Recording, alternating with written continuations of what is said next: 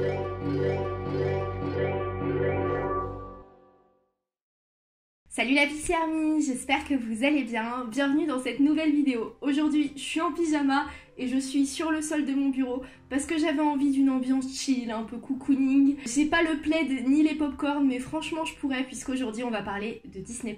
Alors, pour ceux qui sont dans une grotte et qui ne savent pas ce que c'est Disney+, ça va être le concurrent direct de Netflix. Ça sort le 12 novembre aux États-Unis et en fait, le catalogue va rassembler tous les films Disney, Pixar, Marvel, Star Wars et il va également y avoir plein d'exclusivités et c'est pour ça que je vous retrouve aujourd'hui. J'avais très envie de vous parler un petit peu des films et des projets que j'attends le plus sur la plateforme. Si vous ne me suivez pas sur Twitter, je vous conseille de me suivre d'ailleurs si vous voulez suivre les actualités. Twitter c'est un peu l'endroit où je partage toutes les infos, tous les bons plans que je peux avoir, tout ce qui touche autour de Disney et qui m'intéresse généralement, je vous en partage un max là-dessus donc n'hésitez pas à me suivre juste là. J'ai sorti la petite fiche parce que j'ai plein plein plein de choses à vous montrer. J'ai euh, du coup noté 10 projets, 10 euh, programmes qui m'intéressent le plus sur Disney+. Ce dont je vous parle là, c'est le catalogue US. On ne sait pas si on aura exactement les mêmes choses ou si on aura moins de contenu.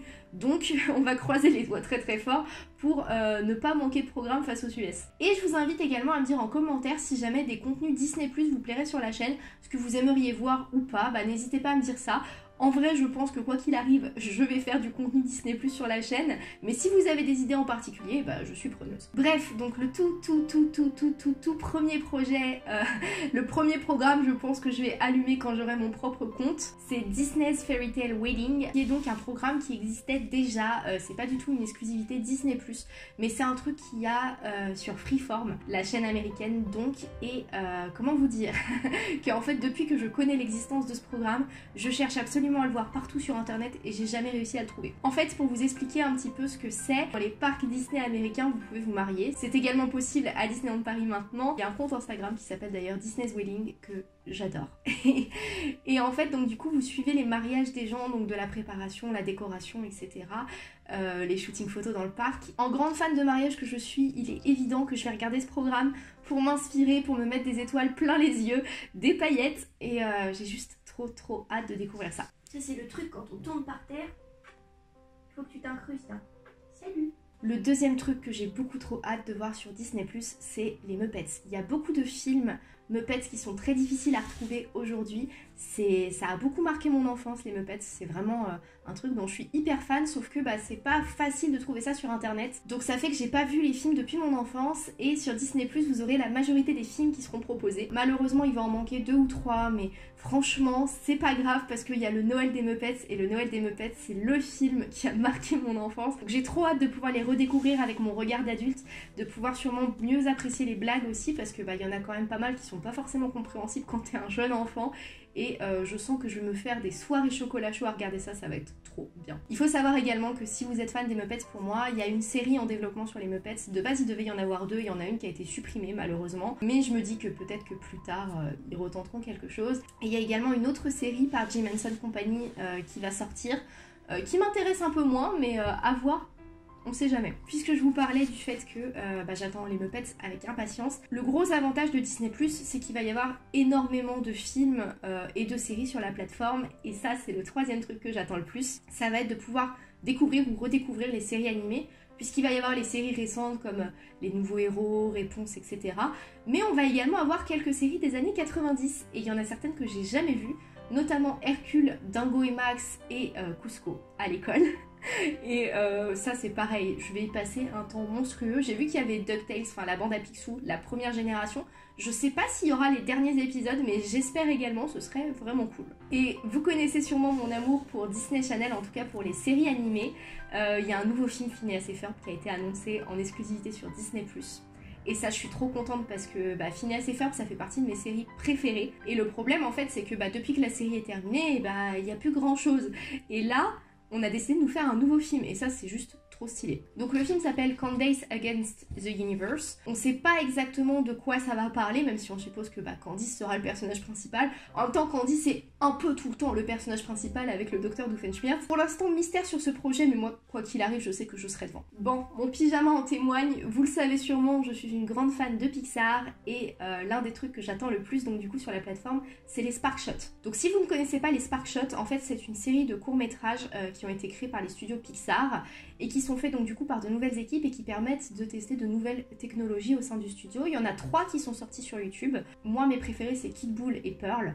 Euh, en particulier Pearl parce que je trouve que le sujet est extrêmement bien trouvé et que je vous conseille d'ailleurs de retrouver, vous pouvez la retrouver sur la chaîne YouTube de Pixar si ça n'a pas été supprimé depuis. Sur Disney il y aura ces trois premiers courts-métrages, mais il y en aura également trois autres. On a pu voir un premier aperçu euh, sur la bande-annonce et ce que je trouve assez incroyable, c'est euh, les différences de design qu'il peut y avoir entre les films, les sujets qui vont être abordés et j'ai juste trop hâte de découvrir ça.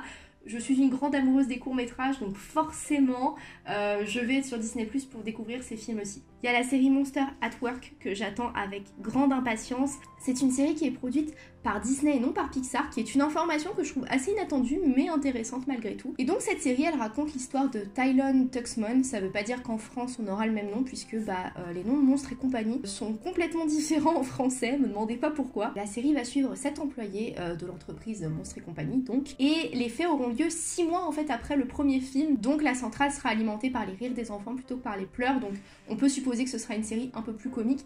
Et ce que je trouve assez cool, c'est que les personnages emblématiques vont être également de retour. Euh, je pense notamment à Célia, à Germaine, mais également l'adorable Homme des Neiges euh, que j'adore. Voilà le petit Yeti. Et je suis très contente parce que c'est vrai que bah voilà, les séries Pixar, il y en a quand même pas tant que ça, hein, soyons honnêtes.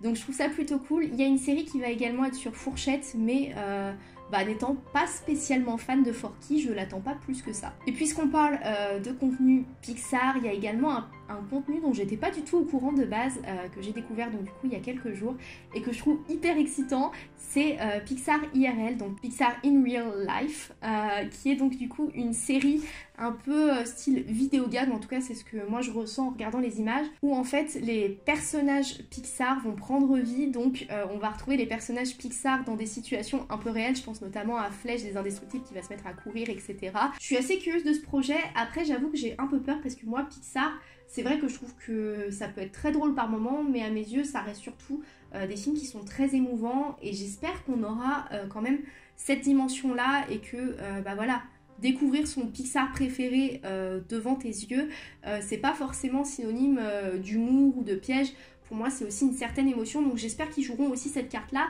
même si bah, pour l'instant, c'est pas ce qui en ressort le plus des images. Huitième projet que j'attends avec grande impatience, et ça, ça vous surprendra pas pour le coup, la Pixie Army, c'est Into the Unknown, euh, The Making of Frozen 2. Tout est dit dans le titre, c'est donc un film documentaire euh, sur les coulisses de La Reine des Neiges 2. C'est un peu le genre de bonus que vous avez le droit de voir quand vous achetez le DVD ou le Blu-ray et je pense que ça va être hyper intéressant. En 2013, euh, pour la sortie de La Reine des Neiges 1, j'avais eu l'occasion de voir une conférence de presse euh, avec du coup euh, bah, les équipes de La Reine des Neiges qui expliquaient avec des PowerPoint un peu les recherches qu'ils avaient fait, comment est-ce que ça s'était passé, etc. malheureusement, j'avais pas eu l'occasion de le voir en entier, j'étais très très très très triste parce que j'avais dû quitter la salle de cinéma. Bref, et je pense que du coup sur La Reine des Neiges 2, ça va être extrêmement intéressant aussi. Déjà parce que c'est un film qui est très attendu et très populaire, et en plus de ça parce que bah voilà, après la barre euh, qui a été franchie pour le premier film, ça reste quand même, je pense, assez difficile euh, de produire un film qui va être au même niveau, voire au-dessus.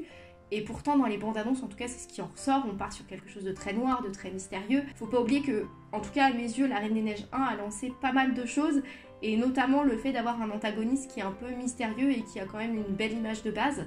Je trouve que c'était vraiment une belle évolution pour Disney. Et du coup, je suis très très curieuse de découvrir ce qui va être fait ici. Et enfin, du coup, pour les deux derniers projets, euh, j'ai retenu des documentaires puisque j'adore ça. Je trouve qu'il n'y en a pas assez malheureusement. À un moment, on pouvait en découvrir certains sur Netflix, sauf que bah, ils commencent à disparaître petit à petit. Et donc, l'un des deux que j'ai retenu, c'est euh, Howard. Donc, c'est un film documentaire sur Howard Ashman. Pour ceux qui ne savent pas qui c'est, Howard Ashman, c'est un célèbre parolier qui est mort en 1991. Euh, qui a fait beaucoup beaucoup de musique, qui travaillait avec Alan Menken d'ailleurs, qui a fait La Belle et la Bête, euh, il me semble, avant de mourir, et euh, La Petite Sirène, entre autres. Alors là, pour le coup, c'est pas un contenu exclusif Disney ⁇ et ça devrait arriver plus tard sur la plateforme, ça ne sortira pas le 12 novembre, mais je suis très curieuse du coup de découvrir bah, la vie de cet homme, euh, comment est-ce qu'il travaillait et je pense que ça va être très intéressant à suivre. Et enfin, et pas des moindres, The Imaginary Story, euh, qui est donc du coup une série qui est produite par Leslie Iwerks, donc la petite fille de Hub Iwerks. Et ça, je pense que c'est la série que tous les fans attendent avec grande impatience. Pour une fois, on va avoir la chance en tant que fan Disney de pouvoir découvrir du contenu sur les parcs, euh, ce qui n'est quand même pas Salut Minouche Pour une fois, les fans euh, de Parc Disney vont être servis puisqu'on a quand même plusieurs documentaires, euh, plusieurs séries qui vont être dédiées à l'Imagineering, dont celle-ci qui est donc du coup l'une des plus attendues. Et en fait, ça va mettre en valeur bah, donc du coup toute la section Imagineering des parcs Disney. On va découvrir un petit peu comment sont faits les spectacles, les attractions euh, dans toutes les destinations Disney. Donc ce ne sera pas que Disneyland Resort ou Walt Disney World. Logiquement, tous les parcs devraient être concernés, ainsi que les Disney Cruise Line d'ailleurs. Et je pense que ça va être hyper intéressant à suivre, qu'on va en apprendre beaucoup. Euh, on va pouvoir dévoiler des animatronics, etc.